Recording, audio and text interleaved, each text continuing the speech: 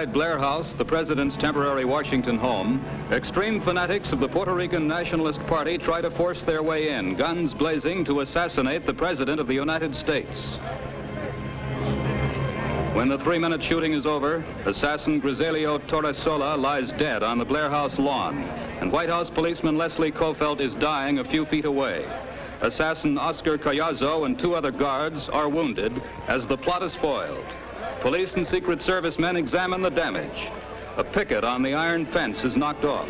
The steps and doorway of Blair House bear bullet holes. Only the guards' quick action prevented more casualties. At Washington's emergency hospital, a 24-hour guard watches over Collazo, who, despite a chest wound, recovers to face trial for murder. The president, who was taking his after-lunch nap upstairs in Blair House at the time of the shooting, emerged shortly afterward to attend ceremonies at Arlington. Americans of all political beliefs congratulate Mr. Truman on his escape.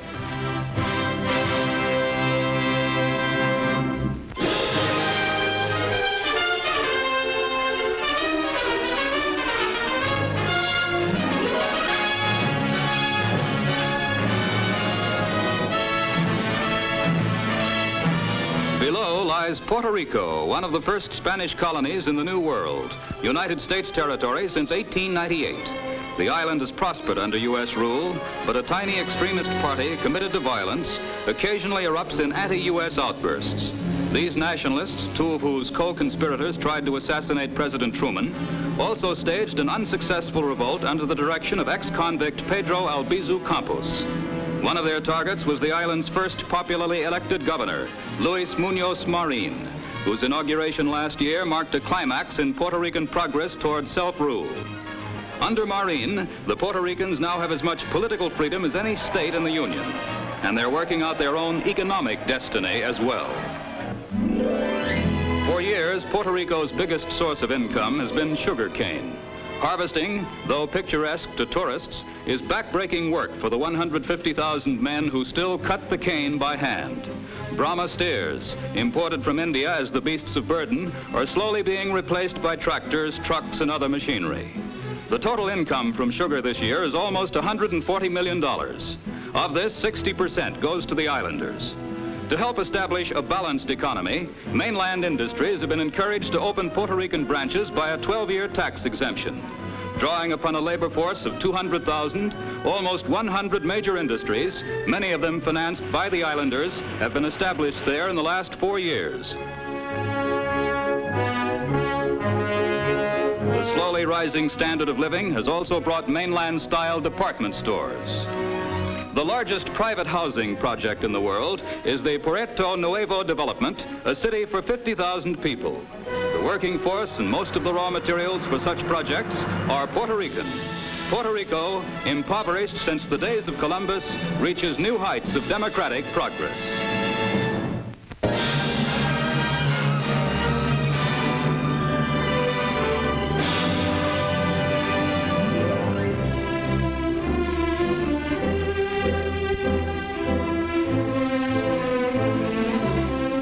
The United Nations General Assembly, President Nasrollah Entezam announces the 46 to 5 vote extending Secretary General Lie's term another three years. The U.S. delegation had strongly supported Lie. Now Mr. Lie, whose decisive action on Korea brought Russian threats to boycott him, reaffirms the independence of his office. I am uh, grateful for the confidence in me that is reflected in your decision this morning. I understand your vote to be a reaffirmation by the General Assembly of the independence and integrity of the office of the Secretary General of the United Nations.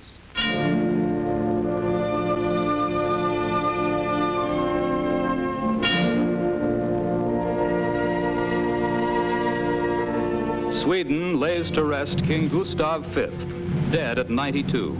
The new king, Gustav VI, leads a funeral procession which includes the kings of Denmark and Norway and the president of Finland. For nearly 43 years, Gustav V ruled over a Sweden at peace. Now thousands view the casket of Europe's oldest reigning monarch, whose span extended from the Victorian age to the atomic era. Through Stockholm, his body passes on its last journey as a nation mourns a democratic king who ruled long and well.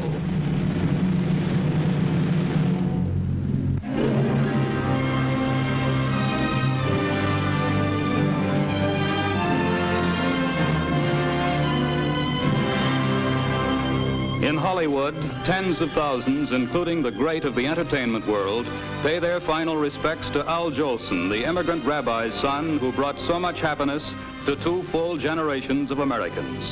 He had just returned from Korea, to which he'd flown at his own expense to bring to soldiers overseas, as he had in two earlier wars, songs he had made famous songs Al Jolson had first brought to the screen a quarter of a century ago as the star of the world's first talking picture, The Jazz Singer. Songs like Mammy. Mammy, I'm coming. Oh, God, I hope I'm not late. Mammy, don't you know me? It's. I'd walk a million miles for one of your smiles. Come on, ah, ah, me. For millions, the final curtain will never fall on Al Jolson.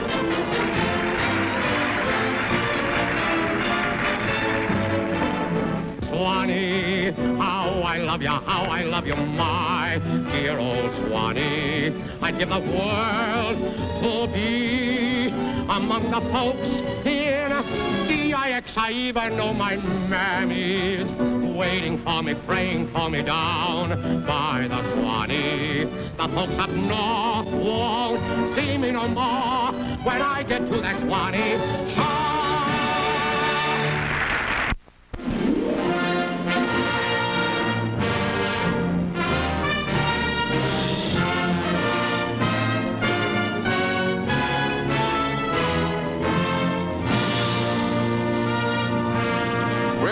Dedicates a new House of Commons, which has been rebuilt on the site of the ancient and historic chamber destroyed by German raiders in the all-out Nazi Blitz of May 1941.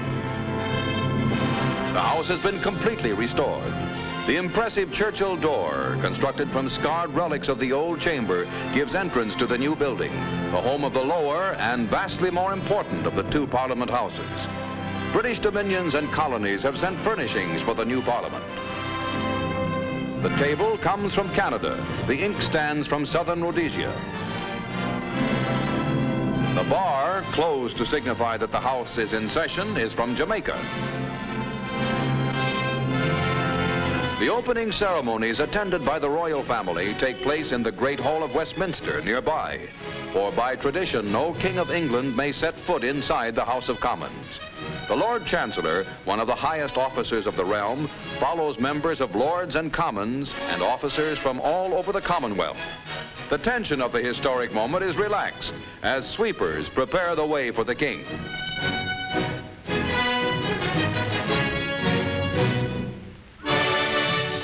Then the King and royal family enter.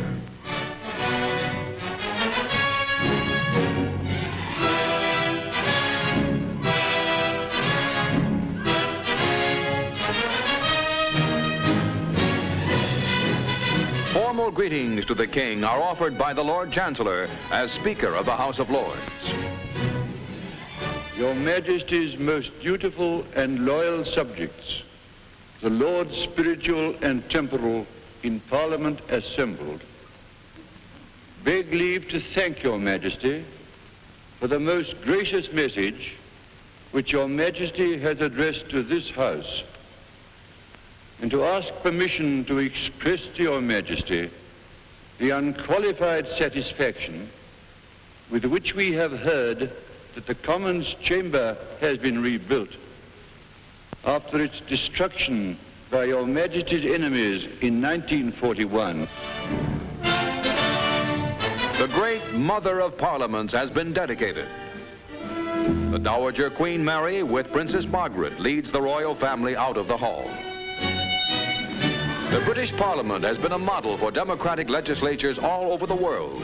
The restored House of Commons carries on, a living inspiration to all men who cherish the ideals of free debate and of democracy.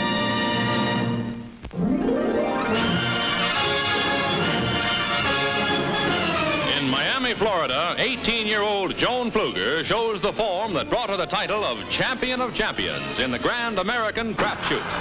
In that national contest, Joan smashed 100 out of 100 clay pigeons to tie with four men. Then she scored 74 out of 75 and beat them all. The first woman champion of champions in this sport. Like Annie Oakley, teenage sharpshooter Joan Pfluger makes the menfolk take a back seat.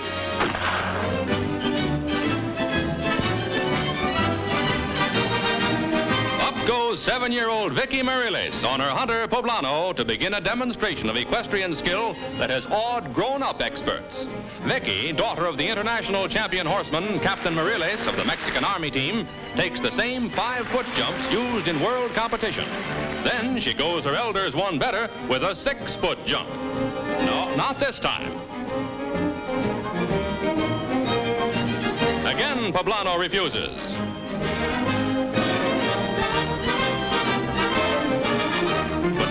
Vicky makes it. On a mount that seems many sizes too large for her, seven-year-old Vicky Mariles reaches a new high in horsemanship.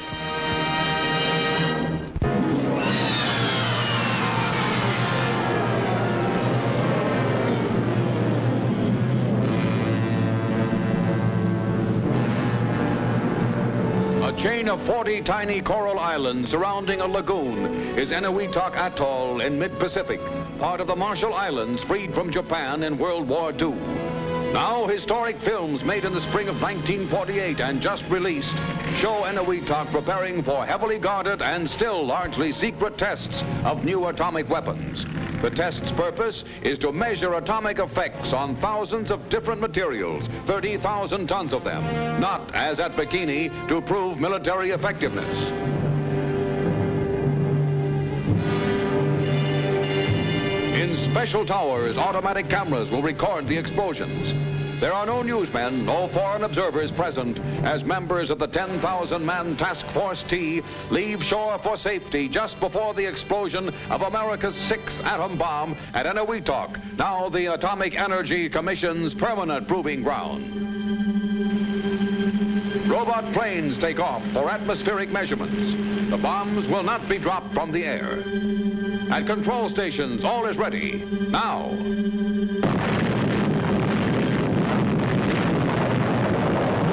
This is bomb number six, a new atomic weapon, not an improvement of an old design. The five bombs set off in New Mexico, over Japan, and at Bikini are, in scientific terms, already ancient history. The flash of bomb number six is seen by shipboard observers.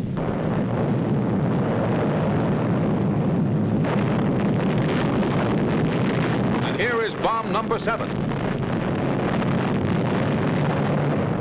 Seen from a different angle, its death-dealing radioactive cloud spreads for miles above the Pacific. This is bomb number eight.